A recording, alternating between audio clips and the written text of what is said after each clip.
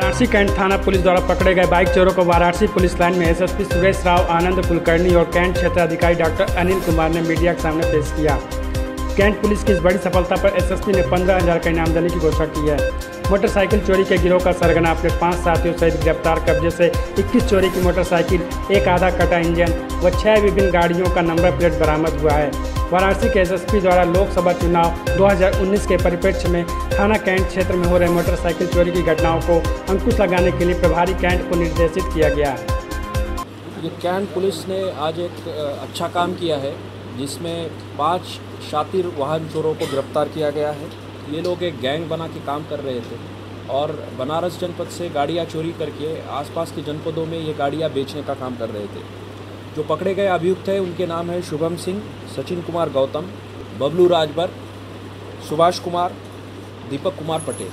ये पाँच अभियुक्त पकड़े गए हैं। ये लोग लगातार पिछले दो साल से शहरी क्षेत्र में चोरी की घटनाएँ कर रहे थे, वाहन चोरी करके।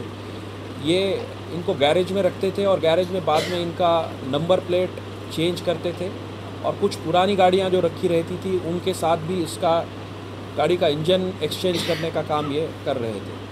उसके बाद नॉर्मली इनका टारगेट ग्रुप स्टूडेंट्स रहता था। स्टूडेंट्स को ये लोग देहात क्षेत्र में ये गाड़ियाँ बेचते थे, जिसके, जिससे शक ना हो और धीरे धीरे करके इन गाड़ियों को बेचने का ये लोग काम कर रहे थे। इनका अभी तक कोई आपराधिक इतिहास प्रकाश में नहीं आया है, पर फिर भी संबंधित जनपदों से और संबंधित थानों से पूरी तरह से वेरीफाई किया जा रहा है कि इनकी कोई क्रिमिनल हिस्ट्री तो नहीं है। इसको भी वेरीफाई किया जा रहा है। अभी तक 21 गाड़ियाँ बरामद हुई है और छः गाड़ियों की नंबर प्लेट भी साथ में बरामद हुई है। इनको भी वेरीफाई किया जा रहा है कि क्या इन गाड़ी गाड़ियों की चोरी की गाड़ी है इसको भी ट्रेस किया जा रहा है। तो एक बड़ी उपलब्धता और बड़ी कामयाबी पुलिस को आज मिली है। सर ये जनपद स्तर पे ही हैं या फिर जनपद के बाहर भी कार हैं ये अभी तक जो इन्होंने घटनाएँ की है वो वाराणसी जनपद की ही संज्ञान में आई है।